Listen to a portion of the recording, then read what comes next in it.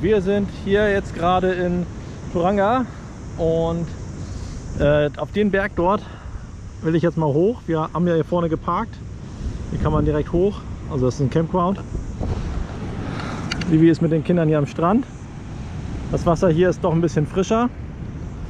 Und wir hatten gerade durchgesprochen, weil wir das am besten machen und ob man den Berg hochgeht. Aber Vivi sagt jetzt selber auch, dass ihr das doch ein bisschen zu steil ist oder jetzt auch mit den Kindern dann einfach zu viel ist, was ja auch okay ist. Und ich habe gesagt, ich würde das trotzdem gerne irgendwie machen wollen. Und der Große will auch lieber hier am Strand spielen, also machen die das jetzt. Können sie sich ein bisschen austoben. Hier haben wir unseren privaten Strandzugang. Wie gesagt, da unseren Camper. Und ich würde sagen, ich mache mich jetzt einfach mal auf den Weg. Hier nochmal kurz was holen. Und dann gehen wir hier den schönen Weg mal lang. Und ihr kommt mit. Bis gleich.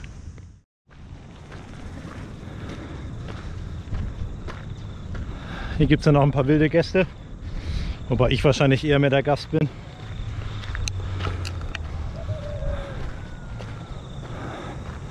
Am Strand findet auch gerade sowas wie so ein Surf-Contest statt. Fly Surfing.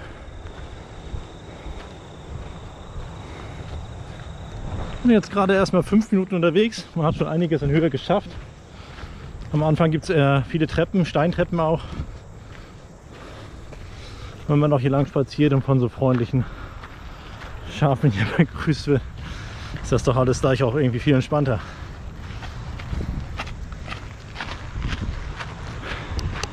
Schon mal der erste Ausblick. Ach, und unten sehe ich sogar die, die anderen. Von daher, weiter geht's.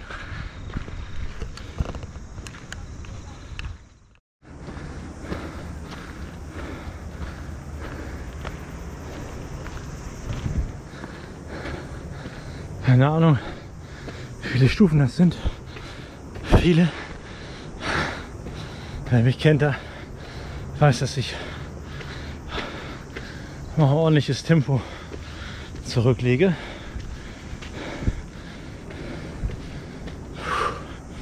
Mit Stufen macht das das nochmal doppelt so anstrengend. Selber schuld. Ne?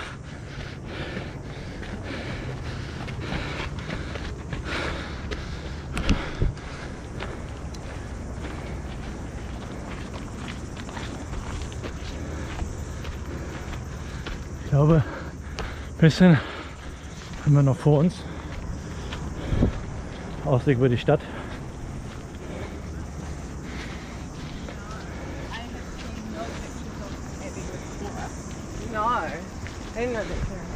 Schon ein bisschen hoch inzwischen.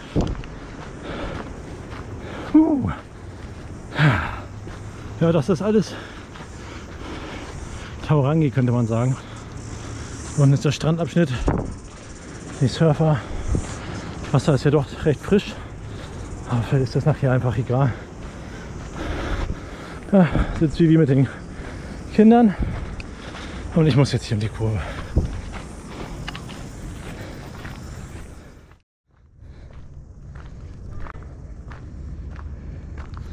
Ach, da seid ihr ja.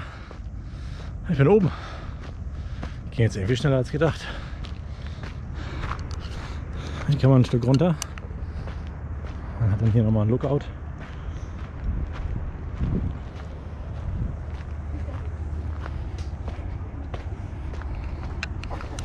Den wollen wir uns hier auf jeden Fall nicht nehmen lassen.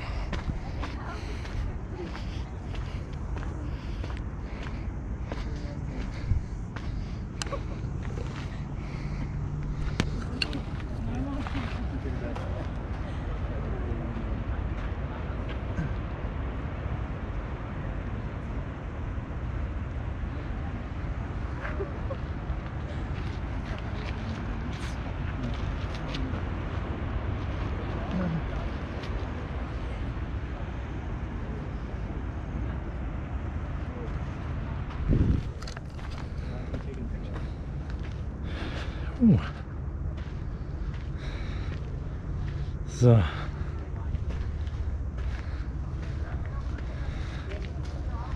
kleine Pause machen. Hier oben noch ein bisschen umschauen. Danach geht es einfach auch schon wieder runter. So ist das, wenn man hier Berge erklimmt. Das ist noch der Hafenbereich. Direkt auf der anderen Seite vom Campingplatz. Man hat quasi die Wasser, also die Seeseite und die Hafenseite, die Meerseite. Was haben wir hier noch Schönes? Ah, wahrscheinlich eine alte Sonnenuhr, würde ich jetzt mal schätzen. Oder man guckt sich auch einfach an, was dazu steht. Ein Sternkompass.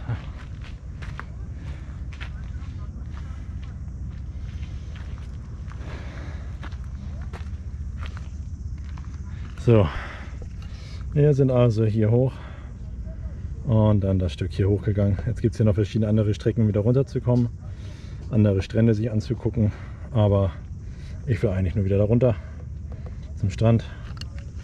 Daher erstmal genug von jetzt. Ich genieße noch ein bisschen den Ausblick, mache ein paar Fotos und dann gibt es auf dem Weg zurück noch mal ein, zwei Lookouts, die ich erstmal äh, außen vor gelassen habe. Mit das hier, die mache ich eh auf dem Rückweg. Daher nehme ich euch noch einmal kurz mit nach hier vorne. Da kann man, glaube ich, noch mal schön entspannt runterschauen. Aha, da hinten stehen auch so einige Menschen. Gucken sich da so ein paar Sachen an. Ich gucke mir das hier an. Ah, das ist auch der Weg, wo man lang gegangen ist.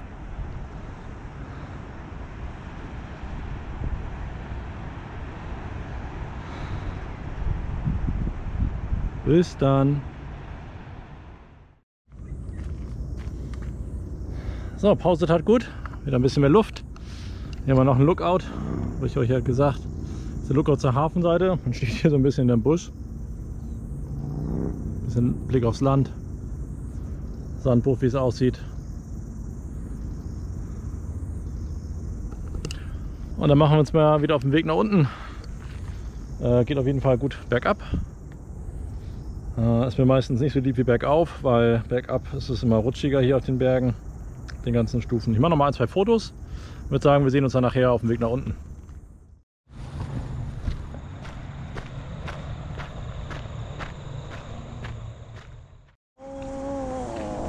Moin, ja, Torben hatte euch ja schon ein bisschen mitgenommen äh, bei seinem kleinen Marsch den Mount Manganui hoch.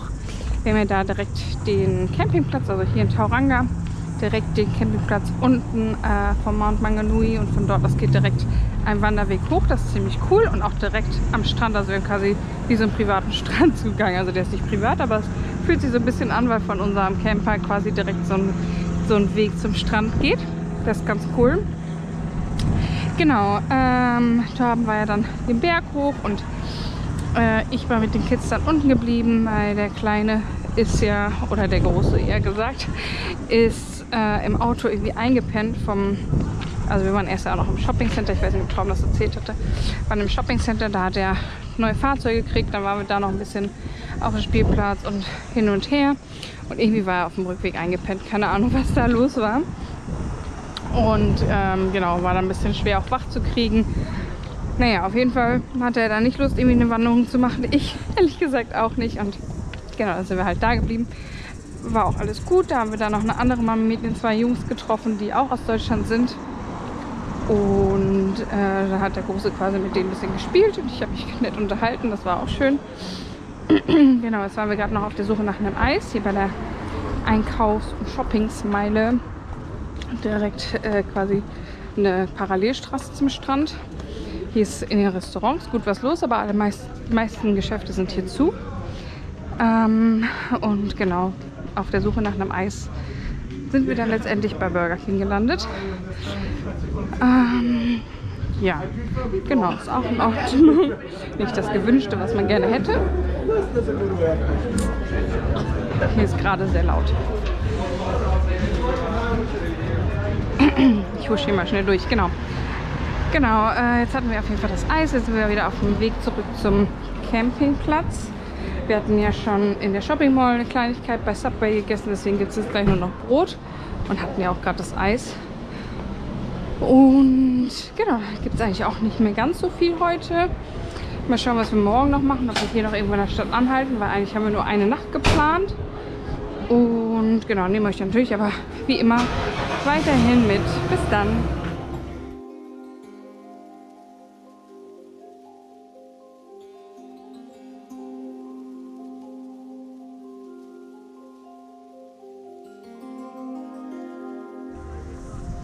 Moin! So, äh, Tauranga, definitiv äh, ein Stop, den ihr einlegen solltet. Lohnt sich hier.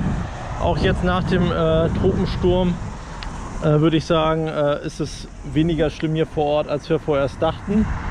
Ähm, es gibt zwar immer noch ein, zwei Baustellen, wo man halt sieht, dass dort der Sturm gewütet hat, aber wir waren jetzt nur eine Nacht hier und könnten letztendlich auch gerne jetzt eigentlich zwei Nächte oder drei Nächte gewesen sein. Hier gibt es eine schöne Straße zum Schlendern mit gemütlichen Sachen zum Frühstücken. Aber auch im Campingplatz war echt viel Platz und verhältnismäßig war der Preis zwar jetzt nicht gerade günstig, aber ähm, für den Ausblick und die Möglichkeiten, dass man dann direkt quasi am Strand ist oder auch an den Wanderwegen und alles gut zu Fuß erreicht, echt okay. Ähm, wir fahren jetzt allerdings weiter. Wir waren jetzt ja nur eine Nacht hier. Wir sind, haben dann um 10 Uhr den Campingplatz verlassen. Jetzt ist es gleich halb eins. Wir haben jetzt hier einfach noch eine Nebenstraße geparkt, sind nochmal durch die Straßen geständert, weil uns das gestern so gut gefiel, aber gestern schon die ganzen Shops dann halt auch geschlossen hatten. Haben wir noch für die kleine neuen Sonnenhut geholt ähm, und waren noch einfach so ein bisschen in der Straße stellen, auf dem Spielplatz natürlich auch nochmal. Da wollte der Große gerne hin und das soll dann ja auch möglich sein. Jetzt wollen wir weiterfahren. Wir fahren jetzt heute noch nach Vityanga, da waren wir vor sechs Jahren auch. Wir haben jetzt quasi für äh, den Coromandel-Bereich uns einmal halt Vityanga und Coromandel selber rausgesucht. Bleiben dort jeweils zwei Nächte. Haben im Vorfeld, ich glaube vorgestern haben wir jetzt die Campingplätze dort gebucht. Da haben wir uns erst dazu entschieden, dass wir das wirklich machen und wo wir dort halten. Und dann äh, nähert sich so langsam auch quasi äh, unser Ende mit dem, äh, mit dem Camper. Ich glaube heute ist der 6., 7. Heute ist der 7. März und bis zum 15. haben wir den Camper noch. Das heißt, lange ist es letztendlich jetzt nicht mehr im Vergleich zu dem, wie wir halt schon unterwegs waren. Und wir werden halt nach, der Coromandel, äh, nach dem Coromandel-Aufenthalt dann noch einmal Richtung Auckland fahren, vor Auckland halten, dann noch einmal durch Auckland durch und nördlich von Auckland quasi den Stopp einlegen für Vivis Geburtstag auch. Boah. Ich glaube, das war es soweit erstmal. Ich montiere gleich die GoPro wieder vorne ähm, am Halter Ram Mount, sieht man das? Da, sehr gut. Hält super stabil. Und äh, macht dann gleich noch wieder ein paar Aufnahmen. Wir steigen mal ein, schnallen die Kinder an. Und dann geht es hier los. Zweieinhalb Stunden sind das so circa an Fahrt. Vielleicht werden es auch drei. Ähm, ein bisschen Entertainment wird gleich angemacht für die, für die Großen. Und dann haben wir eigentlich auch Glück mit dem Wetter. Denn ist ein bisschen bewölkt auf dem Land. Da fahren wir wohl erstmal noch durch. Und dann schauen wir mal einfach, wie es wird. Bis später.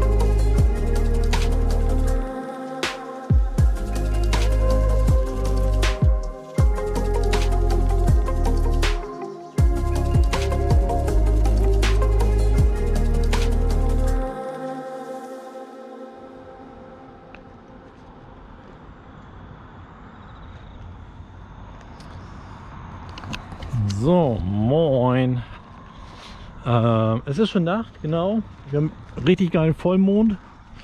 Auf der anderen Seite, jetzt nicht mehr sichtbar, ähm, ist die Sonne untergegangen. Wir sind hier sehr gut in Vityang angekommen. Wie ihr ja vielleicht, ähm, ich muss weniger M sagen. Äh, wie ihr ja auf den Videos davor gesehen habt, gab es dann auf unserem zweieinhalb Stunden Hinweg hierher doch ein paar mehr Baustellen. Es waren dann insgesamt drei Stunden, die wir gebraucht haben. Und an einer Stelle, kurz vor dem Querweg nach Thames, ähm, ja, da schon wieder, war zum Beispiel der Punkt, wo dort eine Sperre war und da standen nur noch Light Vehicles waren erlaubt und wir waren uns halt unschlüssig, was in Neuseeland als Light Vehicle gilt. Unser Camper vielleicht auch oder nicht, aber anscheinend schon. Also wir sind dann einfach weitergefahren, weil das war die einzige Strecke, um nach Vityanga zu kommen. Ansonsten hätten wir komplett Coromandel außen rumfahren müssen. Und das hätte zeitlich einfach zu viel Zeit gekostet. Da haben wir gesagt, wir probieren jetzt diese elf Kilometer noch durch bis zu der gesperrten Kreuzung. Schauen mal. Und auf dem Weg dorthin sind, mussten wir dann anhalten, weil da eine Baustelle war. Da haben die Bauarbeiter quasi gerade noch ein paar Bäume gefällt, auf die Straße rauf. Habt ihr ja dann auch gesehen, auf der Straße fehlte die Hälfte, da war ein riesiges Loch. Ähm, aber der Bauarbeiter meinte, nee, nee, klar, Camper ist Leitvehikel. Es geht hier nur um diese riesigen Trucks. Die dürfen da halt entsprechend nicht fahren. Oh, hier gibt es auch noch Tennisturnier. Ich weiß gar nicht, wie spät das ist. 20, 30 vielleicht, 21 Uhr, irgendwas um den Dreh. Genau. Äh, auf jeden Fall sind wir hier sehr gut angekommen in Vityanga. Hier waren wir ja vor sechs Jahren auch schon mal. Wir hatten uns jetzt vor kurzem halt dazu entschieden, Vityanga und Coromandel anzufahren, nochmal hier oben. Also Coromandel Town. Und ich war jetzt eben gerade, also beziehungsweise wir sind hier gut angekommen auf dem Campingplatz. Der Große konnte nochmal auf dem Spielplatz spielen. Die Leute ein bisschen rumkrabbeln. Und äh, wir haben wieder bisher, seit wir das angefangen hatten, alles jetzt ohne Mittagsschlaf zu machen für den Großen, hat das bis auf, ich glaube gestern, da ist er ganz kurz eingenickt für eine halbe Stunde, sehr gut geklappt. Und auch heute war das jetzt wieder tatsächlich so, dass aus unseren sonst also eine Stunde bis anderthalb Stunden abends ins Bett bringen, jetzt irgendwie eine Viertelstunde geworden ist. Also der pennt dann halt direkt abends. Daher konnte ich jetzt auch noch mal schnell los. Die Sonne ging ja gerade unter und ich wollte mit der Drohne noch ein paar Aufnahmen machen. War jetzt hier vorne so ein Sportplatz Dahinter ist quasi der Hafen von Vityanga. Bin dann noch mal kurz hoch, habe ein paar Aufnahmen gemacht, muss ich mir jetzt hinterher erstmal angucken. Zeige sie euch nach diesem V-Log, also nach diesem V-Log-Sprachteil noch mal kurz und dann ähm, habt ihr davon auch noch mal einen Einblick. Ansonsten hatte mich die Frau gebeten, sie hat Hunger auf Schokolade, ob ich nicht da vorne mal schauen könnte, ob es da nicht noch was gibt. Und tatsächlich hatte der Laden noch auf. Vielleicht etwas teurer als normal, aber ja, Schokolade habe ich bekommen. Mal gucken, was sie gleich dazu sagt. Uns geht sonst soweit ganz gut hier. Wir verbringen jetzt hier zwei Nächte in Vityanga, bevor es dann nachher danach weitergeht. Vivi hat sich auch schon was inzwischen für den Geburtstag überlegt. Da hoffen wir natürlich dann auch, dass das alles soweit klappt. Ich würde sagen, mehr gibt es erstmal nicht zu berichten. Ich schreife hier noch ein bisschen durch die Nacht. Ich mag ich das ja ganz gerne, auch wenn ich mich hier nicht auskenne und weiß, was für Gestalten hier lauern, aber so ist das Leben halt. Von daher gehen wir mal zurück bei uns auf dem Campingplatz. Hier sind wir übrigens, Mercury Bay Holiday Park. Äh, haben sich auch ein paar Fahrradfahrer, nicht, wenn ich jetzt Biker sage, ist das irgendwie wahrscheinlich falsch zu deuten, eingefunden und feiern hier ihr Zusammenkommen unterwegs sein. Mal gucken, wie laut das da noch ist. Und werde ich mich dann nochmal ins Notebook machen. Je nach Internetgeschwindigkeit was für die Arbeit. Habe dann auch zwei Stunden offen die Woche. Heute ist bei uns Montag, Montagabend. Also äh, äh, Dienstag. Heute ist Dienstag. Ist heute Montag? Nee. Na egal, ich bin schon durcheinander. Ich habe für diese Woche noch zwei Stunden offen. Das habe ich aber auch noch genügend Zeit dafür. Von daher kriege ich das alles hin. Ansonsten habe ich immer noch mein Handy als ETE-Hotspot hier gerade mit 5G-Empfang, vollen Empfang in der Walachei im Vergleich zu Deutschland auf jeden Fall kein Problem. So weit von uns, von mir. Oh, hier lang. Und würde sagen, melde mich dann einfach morgen nochmal. Bis dann.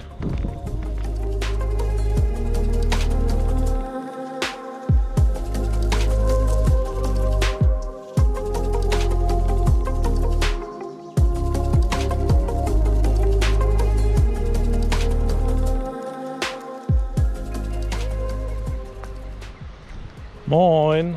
So, Vitjanga bei Tag. Wir sind jetzt Richtung Strand und werden hier überhäuft von Muscheln. In allen möglichen Farben und auch Formen. Das ist alles voller Muscheln da hinten. Dafür ist das hier auch bekannt. Das kennen wir auch noch vom letzten Aufenthalt. Auch wenn hier jetzt natürlich gerade sehr viel Sonne ist, wollten wir einfach mal hier lang spazieren. Es ist ordentlich warm. Immer wieder irgendwas bei 25 Grad. Temperaturen gehen jetzt der Nordinsel wieder nach oben. Das Wetter hält sich auch. Soll zwar heute auch ein bisschen mehr bewölkt sein, aber davon sehe ich gerade noch nichts. Umso besser können wir jetzt erstmal uns ein bisschen draußen aufhalten. Haben zuerst einen Zwischenstopp am Spielplatz gemacht. Und genau, jetzt gehen wir hier am Strand lang. Buggy zusammengefaltet. Kann man den kurz mal in der Hand tragen. Besser als hier lang zu spazieren. Wir werden uns wahrscheinlich gleich einfach mal hier irgendwo einen Platz suchen. Kann da groß ein paar Muscheln sammeln. Die Lütte vielleicht ein bisschen im Schatten des Buggys auf der Picknickdecke äh, krabbeln.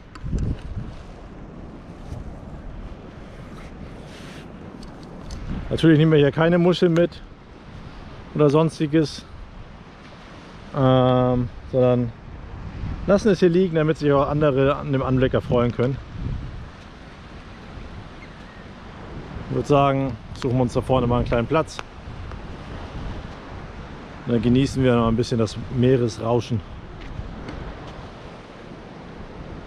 Okay, bis später.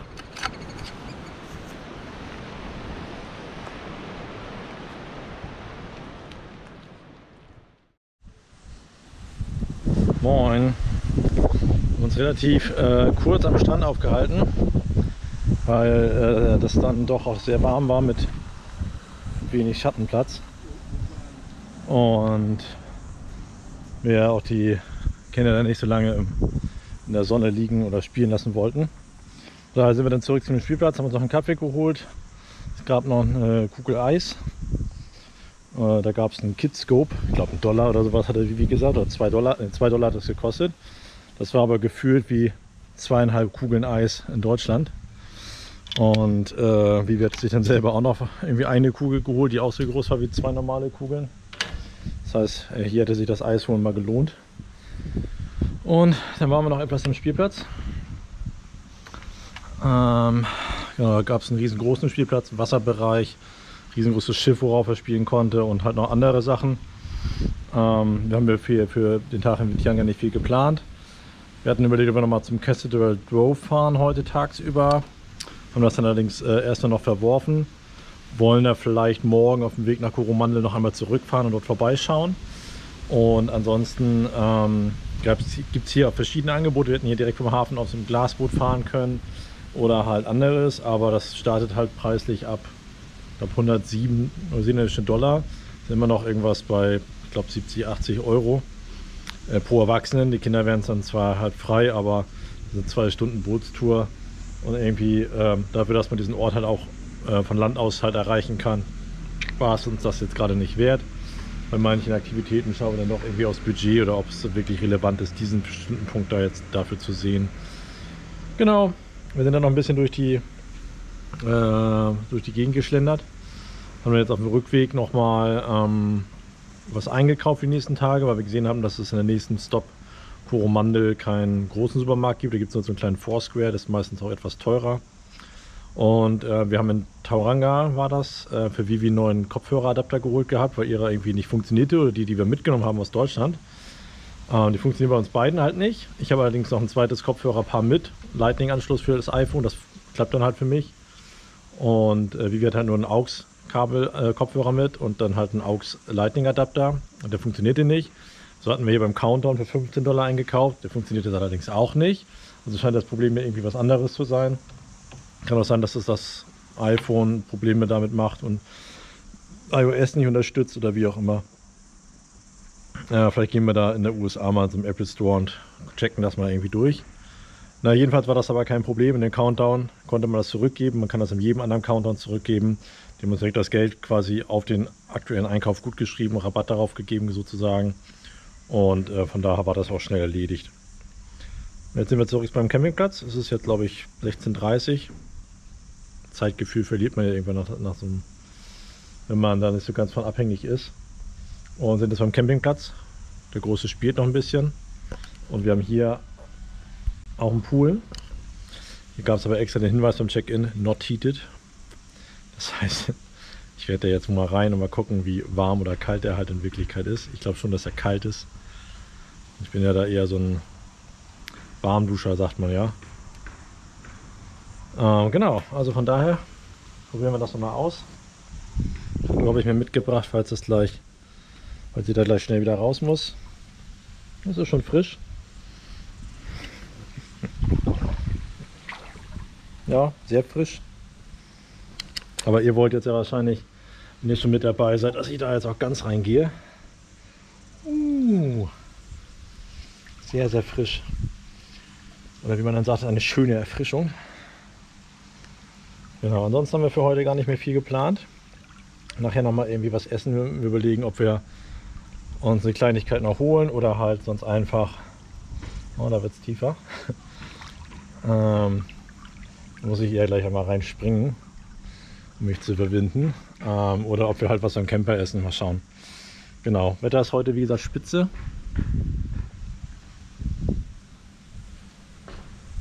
nächsten Tage soll das ein bisschen mehr zuziehen. Am Freitag soll das auch Regen geben. Heute ist Mittwoch. Ähm, von daher mal gucken, einfach wie sich das hier so ergibt. Ansonsten sehen wir ja auch, wie gesagt, jetzt äh, die letzten Tage, bis wir dann auch wieder in Auckland ankommen. Da haben wir in Auckland noch anderthalb Wochen, zwei Wochen, glaube ich, Aufenthalt. Äh, geben wir schon unseren Camper vorab. Genau, und äh, ihr sagt jetzt wahrscheinlich, ich halte das Ganze nur dran hin. Das ist auch vollkommen richtig. So, ich drinnen wäre das ganz okay. Für die Kinder wäre das aber einfach zu kalt. Die Lütte würde direkt gleich bibbern. Und für den Großen, der hält sie da glaube ich auch nicht so lange drauf auf. Vivi wollte vielleicht auch noch mal kurz in den Pool rein. Ähm, und ich würde sagen, von daher müssen wir jetzt wohl mal ans Wasser. Seid ihr bereit? Dann jumpen wir mal rein da, ne? Und los geht's.